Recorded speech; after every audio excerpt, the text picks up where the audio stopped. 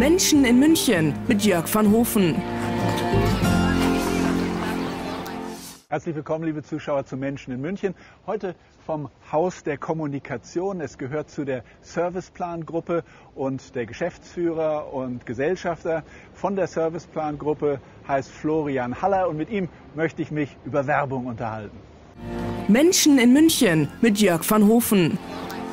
Herr Haller, schön, dass Sie mal ähm, ein bisschen aus Ihrem Gewerbe uns jetzt zum Verstehen geben. Ähm, wenn man jetzt sich überlegt, ähm, was machen Sie eigentlich und es mal so in eine Zeile bringen möchte, da gibt es Menschen, die sagen, es ist ein Kampf um die Augäpfel der Bevölkerung. Ähm, können Sie sich mit dem Satz identifizieren? Naja, das ist ein bisschen, das ist zwar sehr plakativ, aber am Ende des Tages ein bisschen kurz gesprungen. Wir machen am Ende des Tages machen wir Kommunikation für, äh, für Unternehmen und für Marken mit dem Ziel, ähm, Umsatz und Wertschöpfung zu, äh, zu erzeugen. Mhm. Gut, also für Menschen, die sich nun überhaupt nicht in der Branche auskennen und, und denken, okay, da macht einer, da macht einer Werbung, ähm, müsste man vielleicht doch mal erklären, was so die, die Eckpunkte sind. Also es gibt Sie, mhm. oder fangen wir damit an, es gibt ein Produkt, eine Firma. Mhm. Und dann gibt es die Konsumenten mhm. und Sie stehen dazwischen und versuchen, das Produkt an die Menschen zu bringen. Mhm. Ähm, wer ist eigentlich der kompliziertere Part? Der Kunde, der das Produkt hat, oder diejenigen, an die Sie es ähm, verkaufen müssen? Ähm, am Ende des Tages die Menschen, an die wir es verkaufen müssen, sind entscheidend für unsere Arbeit, weil wir machen ja Konzepte, die am Schluss von Menschen gekauft werden sollen. Da entsteht dann die Wertschöpfung und da entsteht dann Umsatz und Gewinn. Und wenn diese Menschen das nicht kaufen, dann, äh, dann haben wir ein Problem oder hat unser Kunde ein Problem. Und, ähm, und deswegen liegt dort die große Herausforderung für uns.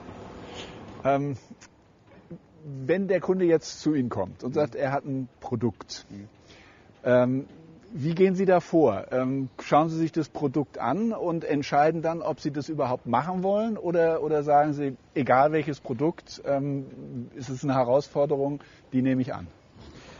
Naja, also idealerweise ähm, Idealerweise, ehrlich gesagt, setzt man einen Schritt früher an. Idealerweise kommt ein Kunde mit einer Idee und einem Konzept.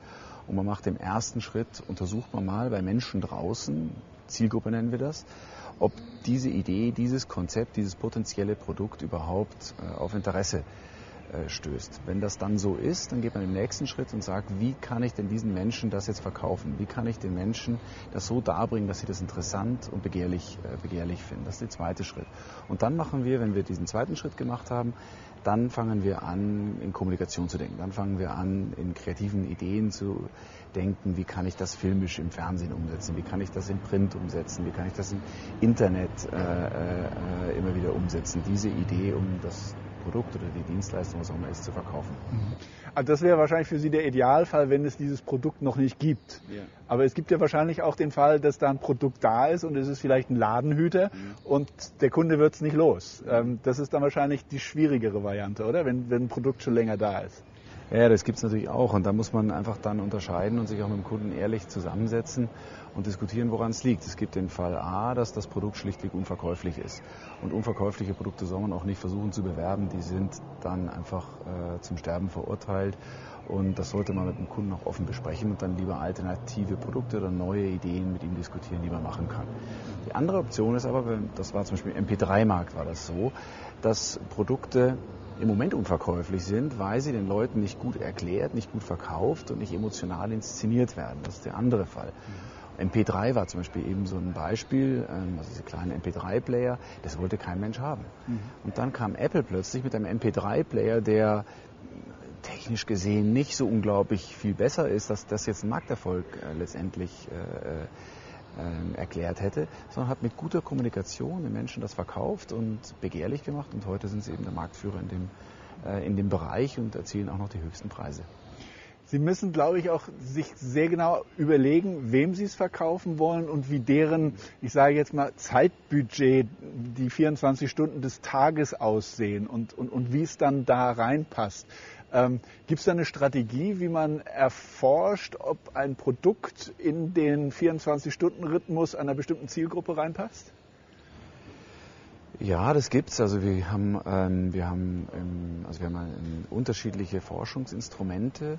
Eins dieser Forschungsinstrumente ist das, was Sie ansprechen. Das nennen wir Home Diaries. Also das sind ähm, oder Zuhause-Tagebücher. Das sind also ist ein Untersuchungsansatz, wo wir Menschen nach Hause begleiten und mit ihnen zusammen zu Hause versuchen zu verstehen, wo passt das Produkt in den Tagesablauf rein, wie wird das Produkt überhaupt benutzt, wie wird es angewendet. Weil wir alle eine Tendenz haben, im Elfenbeinturm zu sitzen, uns Verbraucher äh, oder Verbraucherinnen vorzustellen und nicht mehr vor Ort sind. Und das ist genau der Weg, um da drum herum zu kommen. Und ähm, wenn man jetzt sich die verschiedensten Marken anguckt, dann gibt es einfach erfolgreiche Marken. Also erfolgreichste Marke, da, gibt es ja jetzt so eine Skala und erstaunlicherweise ist das ja wohl im Moment Google. Das ist so die, die Marke, die Coca-Cola dann so überholt hat. Mhm. Ähm, wenn man Marken mit Personen in Verbindung bringt, ist das ratsam für den, der das äh, Produkt versucht zu verkaufen, weil er ja dann sehr eng auch an dieser Person dran ist? Also was, was würden Sie sagen, sind die Vorteile, ein Produkt mit einer Person zu verkaufen? Was sind die Nachteile?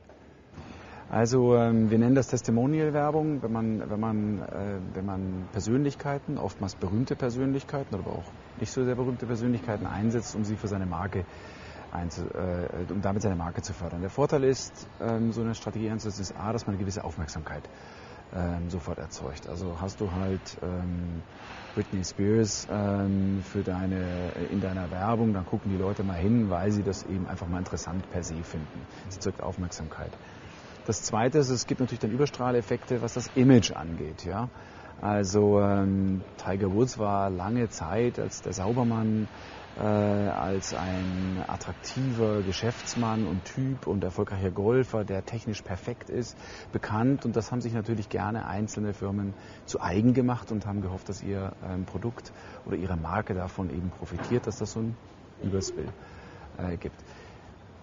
Am Beispiel Tiger Woods kann man genau sehen, dass das genau dieser Effekt kann sich natürlich ins Gegenteil äh, letztendlich äh, dann natürlich auch wieder verkehren, wenn man nämlich einen äh, berühmten eine berühmte Persönlichkeit nimmt, die ein bestimmtes Image nach außen hat und dann kommt plötzlich heraus, dass diese Person ganz anders ist und das Image fällt in sich zusammen, dann schlägt das dann oft negativ auf die Marken über. Ein anderer Fall, ganz berühmte Fall, wo das auch so war, war der Fall äh, Sedelmeier in den, ich glaube Ende der 80er Jahre, wo man auch mit einem äh, sehr bodenständigen, bajuwarischen, volkstümlichen Image ähm, für, ein Bier, für eine Biermarke geworben hat und plötzlich ähm, und plötzlich äh, kam da eine, eine, Wahrheit ans Licht, die eben ganz anders ausgesehen hat, ja, ähm, mit, den, mit den genannten Konsequenzen.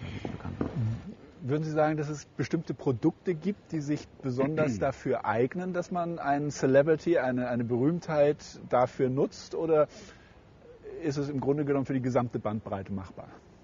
Es ist im Prinzip für die gesamte Bandbreite äh, machbar. Ähm, man ähm, besonders gerne gemacht wird es natürlich in den Luxus- und Fashion-Bereichen, ähm, wo man eben von einem glamourösen Image einer Person ganz besonders profitieren kann. Aber es gibt auch Beispiele für den Automobilbereich, wo das gemacht worden ist, für äh, jetzt äh, Katjes, äh, die einen äh, Kalmund einsetzt. Mhm. Ähm, also das kann man schon in ganz unterschiedlichen Kategorien einsetzen.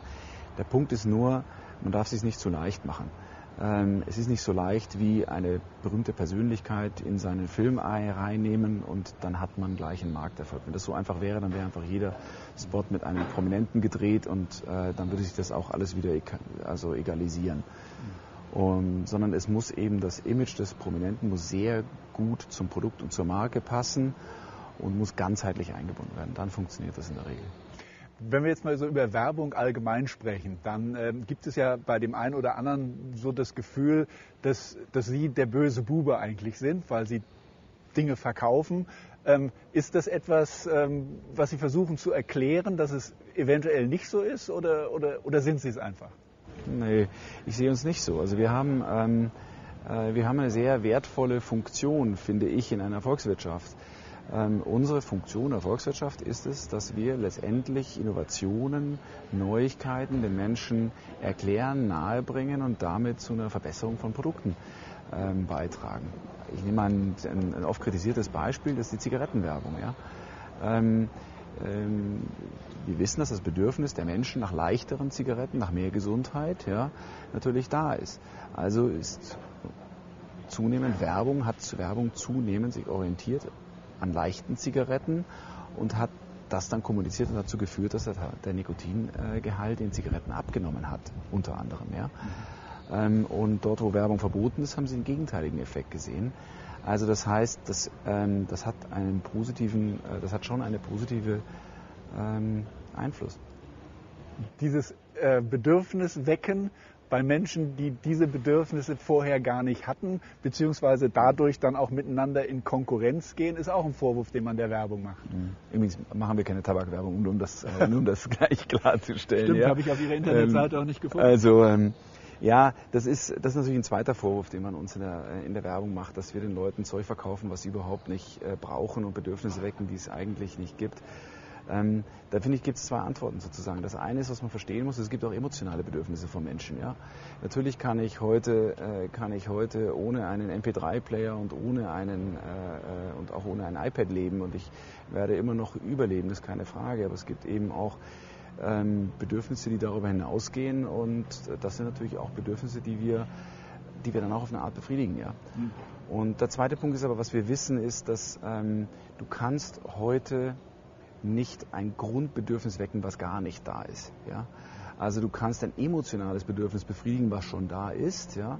auch wenn es kein faktisches Bedürfnis vielleicht oder rationales Bedürfnis sein mag, das kannst du befriedigen, aber du kannst kein Bedürfnis völlig neu kreieren. Das ist ein Beispiel auch, ich komme jetzt wieder auf die Zigarettenwerbung, äh, mehrmals nachgewiesen worden, ich kann nicht jemanden, der nicht rauchen will, zum Rauchen bringen. Das schafft Werbung nicht. Das ist so mächtig ist sie dann leider nicht. Da würde Ihnen der eine oder andere widersprechen. Menschen in München mit Jörg van Hofen. Herr Haller, ähm, jetzt sind Sie in einem Bereich tätig, der eigentlich nur schwer zu fassen ist. Kreativität. Mhm. Haben hunderte von Leuten, die für Sie arbeiten. Ähm, was ist, wie, wie kriegen Sie das geregelt? Also hunderte von Leuten in, in, in der Kreativität zu einem Punkt zu bringen, dass Sie damit äh, Umsatz generieren? Naja, also ähm, das, das liegt natürlich in der Aufgabenstellung. Also das heißt, wenn wir einen Kunden, wenn wir einen Kunden bekommen, dann erwartet er von uns, dass wir Ideen bringen, wie man sein Produkt verkaufen kann, an welchen Stellen und so weiter und so weiter. Ähm, und äh, wir stellen natürlich Leute nach ihrer Begabung ein, diese Ideen liefern zu können. Also es ist ein eigener Berufsstand, kreativer in einer Agentur zu sein. Ähm, die gibt es in unterschiedlichen Ausrichtungen. Die einen sind kreativ im Bereich Text, die anderen sind kreativ im Bereich Bildentwicklung, die anderen sind, Bereich im, äh, sind kreativ im Bereich Filmentwicklung. Und, ähm, und, und diese Leute finden Sie hier halt dann. Dieses ähm, dann kreativ etwas aufzubauen, reden wir mal vom Werbespot. Ja. Ja. Dann gibt es ja auch ähm, bestimmte Mechanismen, von denen Sie wissen, dass sie funktionieren. Also äh, zum Beispiel, welche Bedeutung hat Sex, Sexualität? Ist, ist das eine Sache, wo Sie wissen, wenn ich das einsetze, äh, dann habe ich damit immer Erfolg? Ja, so leicht ist es leider nicht. Also Sex ist natürlich und, und Erotik ist natürlich ein Grund, eins der zentralen Grundbedürfnisse des Menschen. Ja?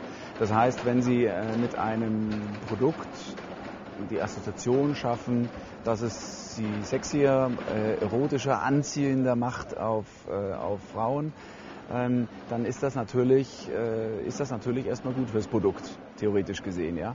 Das Problem ist nur, das ist nicht eine Assoziation, die für jedes Produkt funktioniert. Ja? Also mein Kugelschreiber im Büro hat eben mit Erotik nicht viel zu tun. Und das zweite ist auch nicht glaubwürdig für jedes Produkt. Und das dritte ist, ähm, dass äh, Erotik sehr oft dann Produkte auch überstrahlt. Ja? Mhm. Dass die Leute dann nur noch ähm, die äh, nackte Frau, den nackten Mann äh, im Kopf haben, aber dann nicht mehr das Produkt selber. Mhm. Und deswegen ist der Einsatz von Erotik und, Sexualität im weitesten Sinne in der Werbung kein Allheilmittel und, ähm, und überdies natürlich auch bestimmten ethisch-moralischen Grenzen natürlich äh, äh unterworfen. Mhm. Also dieser, dieser Spruch Sex Sells, den es ja auch im, im, Medienbereich gibt, äh, Fernsehen, äh, Print, ähm, den halten Sie für die Werbung nicht immer für, für zielführend. Sex Sells, aber eben nicht alles. Ne? Mhm. Äh, wenn Sie jetzt an so einen Werbespot rangehen, ähm, was ist wichtig, dass der Konsument dranbleibt? Naja, zunächst mal ist die, auf, die erste wichtige Funktion äh, eines Spots ist überhaupt mal gesehen zu werden. Er muss schon mal aufmerksamkeitsstark sein, um überhaupt äh, die Aufmerksamkeit von uns, die wir heute zig verschiedenen Medienreizen ausgesetzt sind, zu erreichen.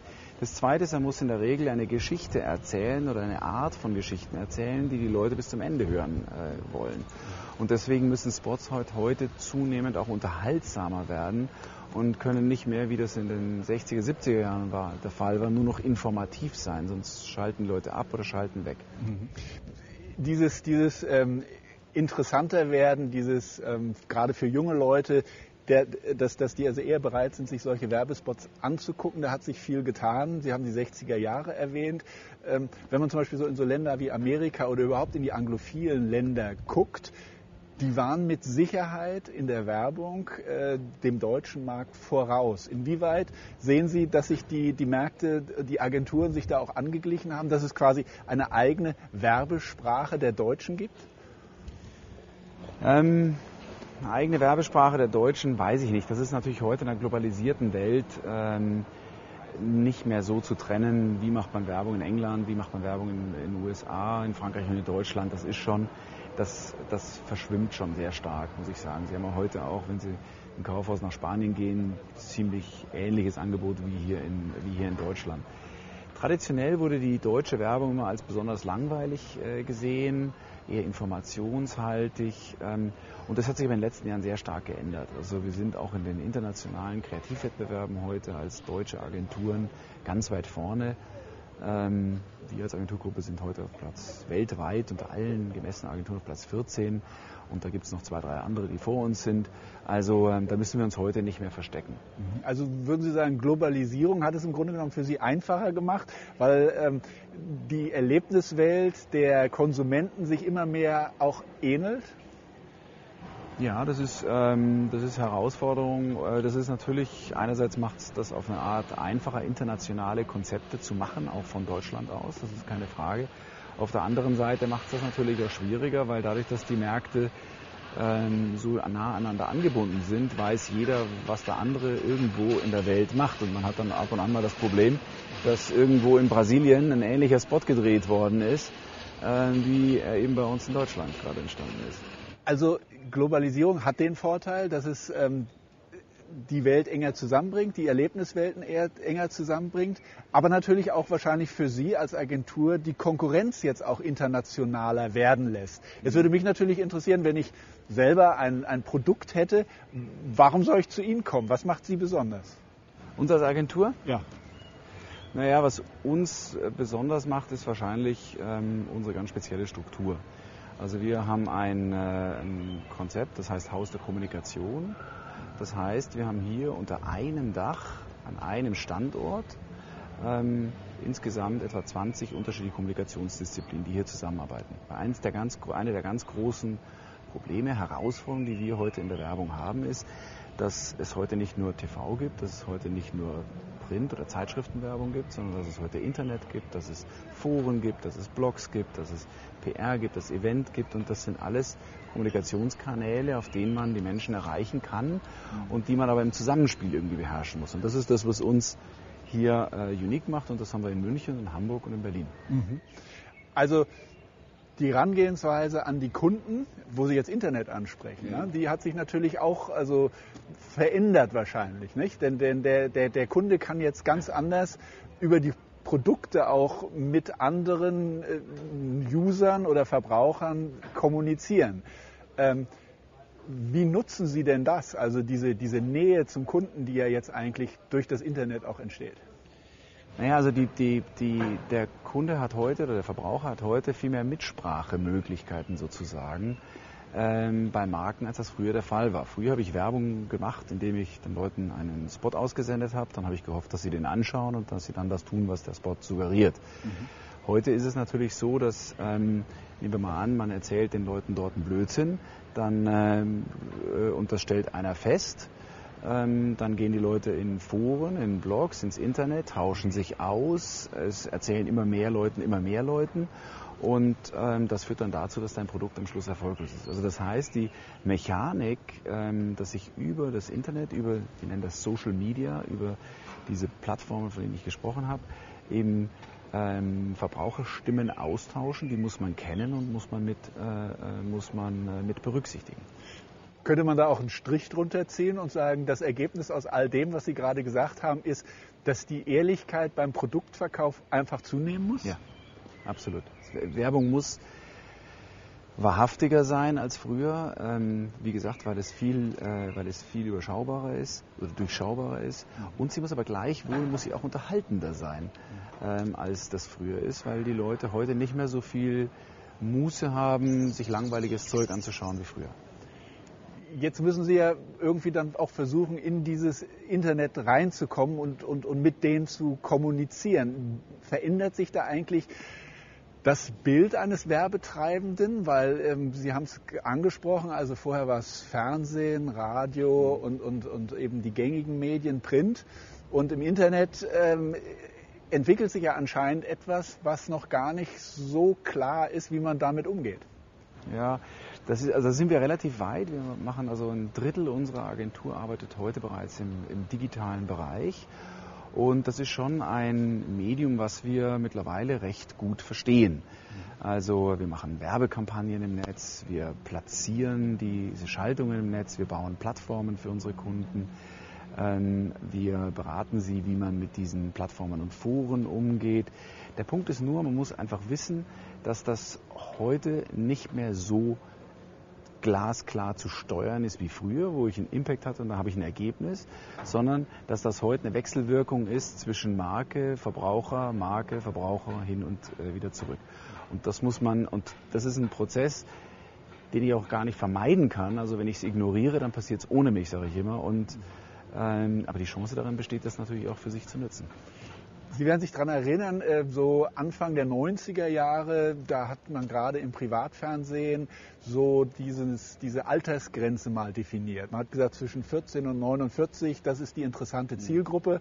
Dadurch hat das Privatfernsehen sehr profitiert, weil das öffentlich-rechtliche Fernsehen die über 50-Jährigen hat.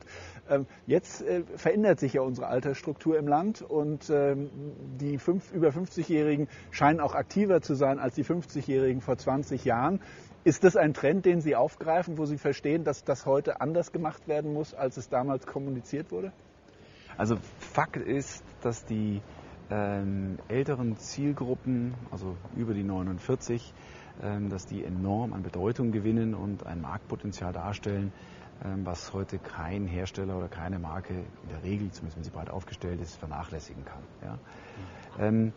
Der einzige Punkt, der dem entgegenläuft, und das muss man eben gleichzeitig sehen, ist, dass die Leute im Kopf immer jünger werden und auch immer jünger bleiben wollen. Ja? Also dass während ich früher mich vielleicht mit 60 alt gefühlt habe, ich mich heute mit 60 nicht alt fühlen will und deswegen auch nicht wie ein alter Mensch angesprochen werden will. Und deswegen zeigen wir oftmals Bilder, die natürlich ähm, jünger aussehen als wie die Zielgruppe in Wirklichkeit äh, ist, weil sie sich eben so sehen möchte. Mhm. Und ähm, was sagen da Ihre Forschungsergebnisse oder Ihre eigene äh, Erlebniswelt? Sind die 60-Jährigen wirklich nicht mehr so flexibel, was ähm, der, den Kauf von neuen Produkten anbelangt? Nee, das stimmt überhaupt nicht.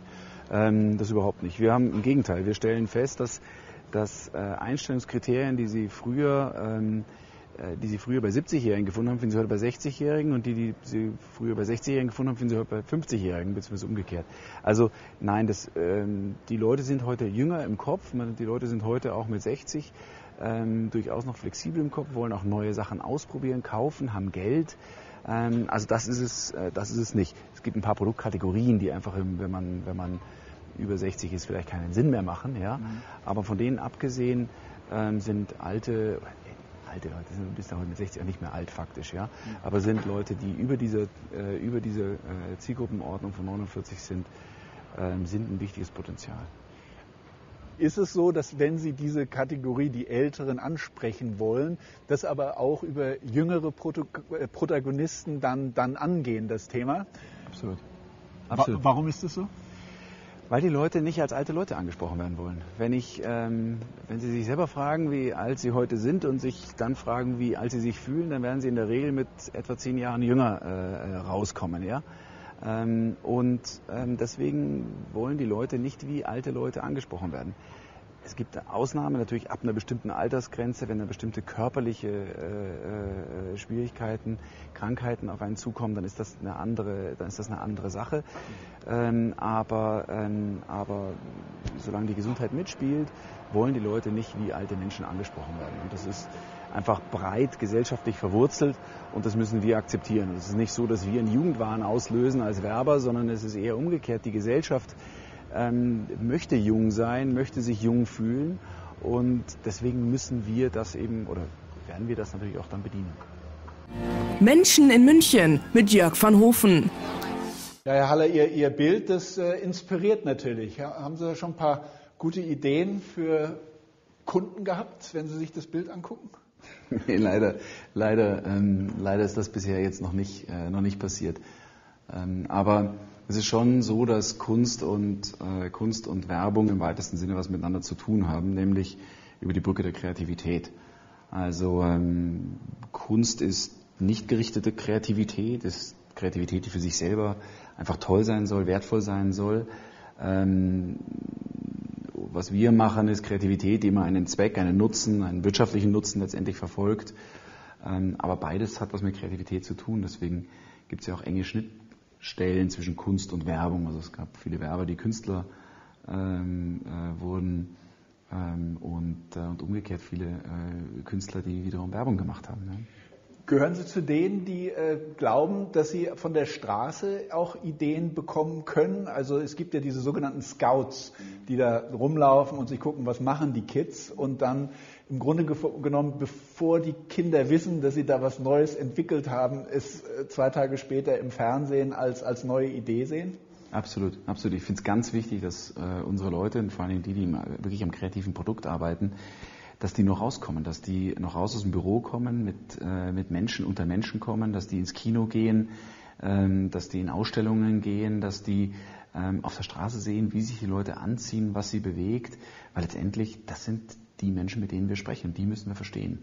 Das heißt, Sie müssen immer Ihren, Ihren Finger am Zahn der Zeit haben. Ist da im Moment eigentlich ein, ein Trend abzusehen, wo Sie sagen, da geht was in eine neue Richtung, wo, wo wir vorher noch nicht waren? Ja.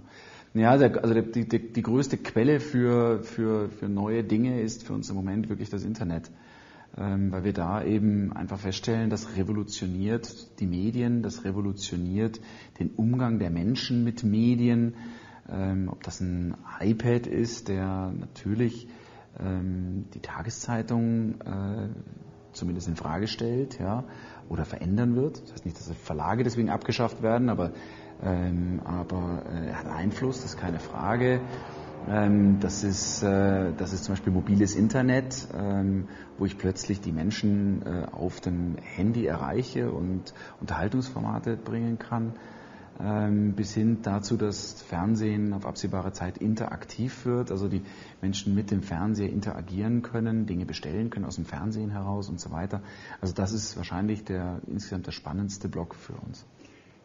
Viele wissen ja gar nicht, dass eine Agentur natürlich auch viel mit dem ähm, wirtschaftlichen Erfolg von ähm, Medien zu tun haben, weil sie ähm, die Etats eben auch in die Medien verteilen und äh, dadurch die Medien leben können. Ähm, wenn man sich jetzt mal ein Medium rausnimmt, wir haben es eben auch schon mal so ein bisschen durchklingen lassen, Print.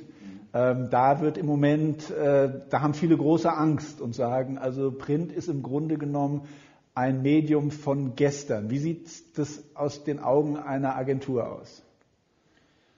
Also ähm, erstens mal geht es den Verlagen nicht so schlecht, wie, äh, äh, wie, äh, wie überall gezetert wird. Also wenn man eben Bildgruppe sieht, dann wird da heute noch 25% EBIT-Marge gemacht. Also das ist jetzt nicht so eine ähm, dramatische wirtschaftliche Situation. Bei anderen Verlagen sieht es anders aus. Ähm, aber, ähm, aber muss das immer so ein bisschen, äh, auch ein bisschen irgendwo äh, relativieren. Ähm, der zweite Punkt ist, ähm, natürlich ist Print ähm, rückläufig, weil es kannibalisiert wird durch, äh, durch das Internet. Print wird nie verschwinden, davon bin ich fest überzeugt. Die ganze Mediengeschichte zeigt immer, dass mediale Innovationen zu Verschiebungen geführt haben, aber bisher fast kein Medium je ausgestorben ist. Also das Radio wurde nicht verdrängt durch den Fernseher, sondern es gibt, wir haben heute Radio und Fernsehen. Und äh, die Zeitung wurde nicht verdrängt durch, äh, durch das Radio, äh, sondern wir haben heute alles drei. Also es wird immer Print geben, aber Print wird über die nächsten Jahre weiter rückläufig sein in den Auflagen und deswegen natürlich auch in den Werbeumsätzen. Für einen Verlag heißt das einfach, dass ähm, er das als Bedrohung äh, sehen kann und versuchen kann, dagegen zu arbeiten. Oder er kann sagen, naja, wenn das so ist, dann muss ich halt sehen, dass ich in diesem florierenden Online-Geschäft ähm, eben mir ein zweites Standbein aufbaue, das so dass wenn das eine runtergeht, das andere hochgeht und ich insgesamt eben nicht verliere. Denn ähm, was immer gefragt sein wird, ist tolle redaktionelle Inhalte in Bewegtbild, in, äh, in Form von guten Artikeln ähm, oder, ähm, oder, äh, oder wie auch immer. Das Problem scheint im Internet ja nur das zu sein, dass die Leute nicht bereit sind, dafür zu zahlen. Und deshalb hat man auch schon von dem einen oder anderen Verleger gehört, dass das Internet eben das größte Schnorrermedium ist, was es gibt. Ähm, können Sie sich irgendwann mal vorstellen, dass die Leute bereit sind, dafür zu zahlen? Oder ist es im Grunde genommen mal jetzt so eingeführt? Und wenn was so eingeführt ist, dann ist es ja fast gar nicht mehr möglich, es um 180 Grad zu drehen und den Leuten zu sagen, jetzt müsst ihr zahlen. Also das ist natürlich, der äh, Verlagsmanager, der das gesagt hat, ähm, hat natürlich ausgelassen die Frage, wer ist eigentlich dafür verantwortlich, dass das das größte Schnorrermedium äh, der Welt ist. Ja? Und die Antwort liegt meiner, äh, meiner Meinung nach auf der Hand, wenn ich natürlich alles kostenlos anbiete, was die Verlagsbranche eben, ähm, eben Mitte der 90er Jahre angefangen hat zu tun, dann brauche ich mich nicht wundern, dass die Leute nichts dafür bezahlen, weil es ist ja kostenlos. Also worüber beklagt er sich über seine eigene Strategie? Also der große Geburtsfehler des Internets war es, dass man alle Inhalte kostenlos zur Verfügung gestellt hat und sich damit dann auch nur auf die Werbeerlöse konzentriert hat und gedacht, man könne nur mit Werbeerlösen ein profitables Geschäft betreiben. Und da müssen die Verlage äh, natürlich wegkommen davon, dass sie ihren wertvollen Content, ihre tollen redaktionellen Inhalte ver, äh, nur verschenken. Und wir werden auf Dauer ähm, werden wir zu einem System kommen, wo man eben genauso wie man heute für die Süddeutsche Zeitung in der Früh sein Geld bezahlt, eben auch für tolle Internetinhalte äh, äh, auch was bezahlen wird. Und wir sehen den ersten, den ersten Schritt dahin, macht jetzt das iPad, das eben sagt, wenn du in dieser Umgebung eine toll aufbereitete Zeitung durchblättern willst, dann kostet das halt leider Geld. Und ähm, in dem Szenario wird die Webseite wahrscheinlich auch noch immer bleiben, aber die wird dann sehr stark reduziert und nur für den, der mal so drüber gucken will, äh, dann eben das richtige Medium sein. Um nochmal auf Ihre Werbespots und, und auf ihre Produkte zu sprechen zu kommen, die sie dann anbieten, damit man äh, ein Produkt kauft. Äh, in Amerika war es ja eigentlich immer so, dass man tatsächlich auch über Werbespots gesprochen hat. Da war das gesellschaftlich und ist heute natürlich auch noch akzeptiert, dass man darüber spricht, Mensch, das ist ein toller Werbespot.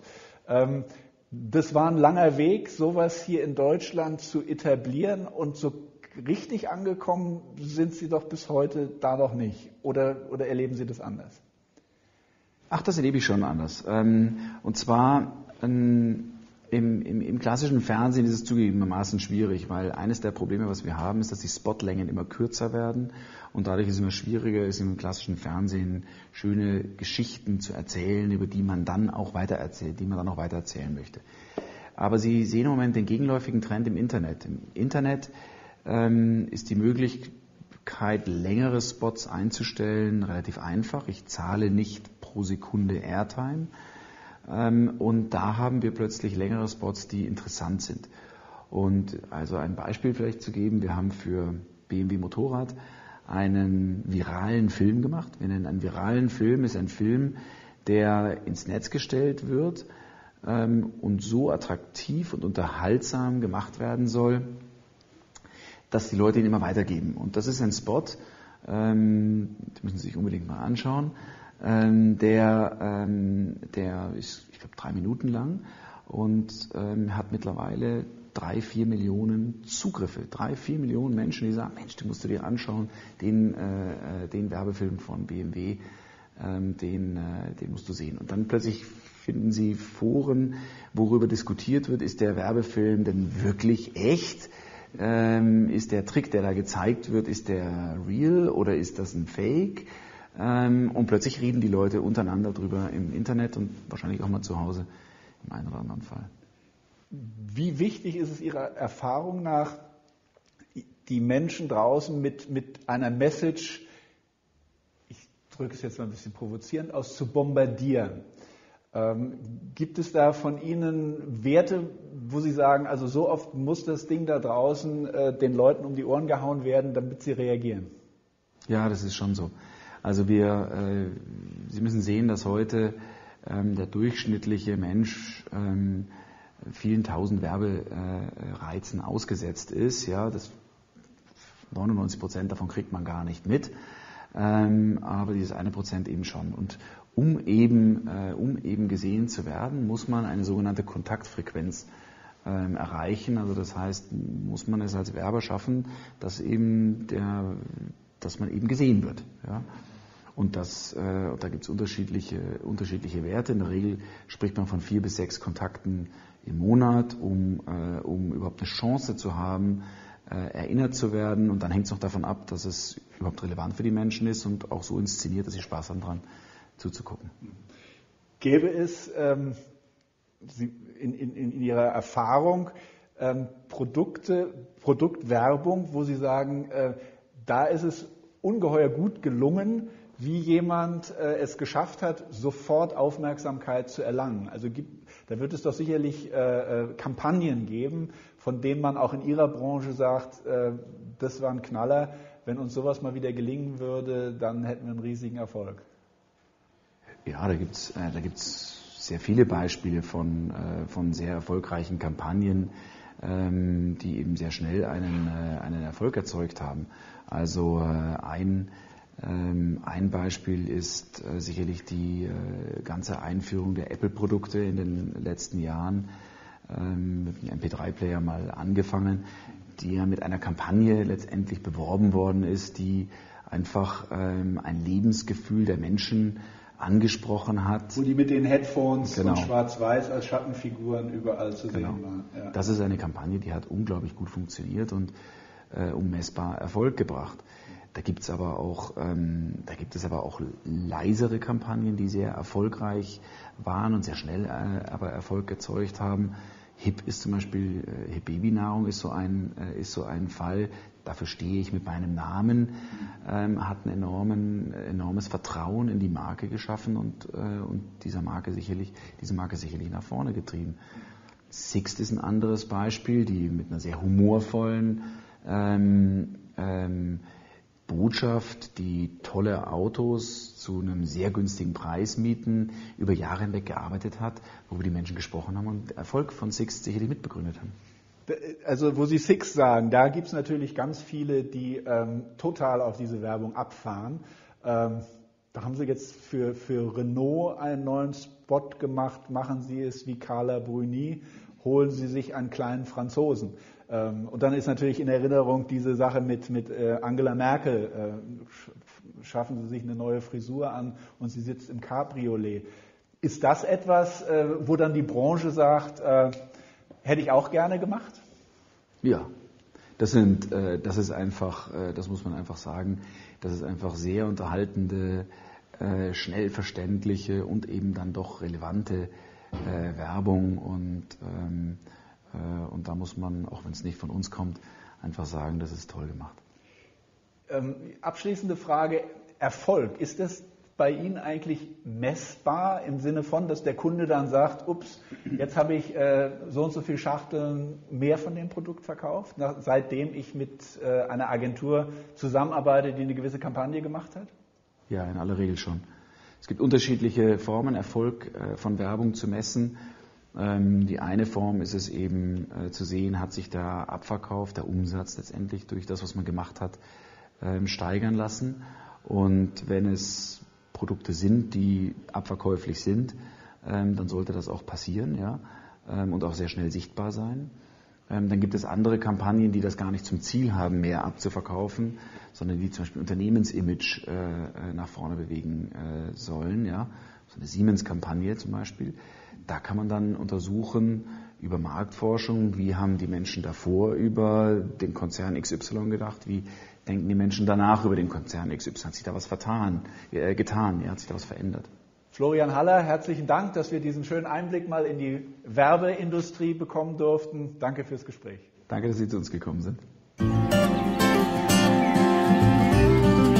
Das war Menschen in München mit Jörg van Hofen.